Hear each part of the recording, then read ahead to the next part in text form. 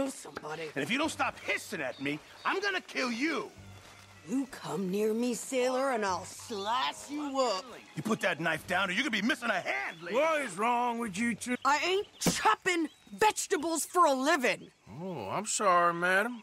Was there insufficient feathers in your pillow? I ain't lazy, Mr. Morgan. I'll work, but not this. Well, ain't cooking work?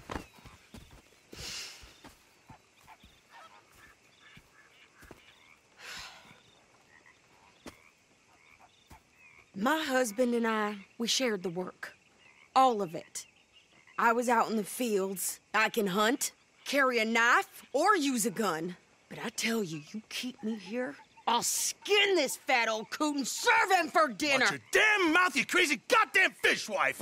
Enough, both of you!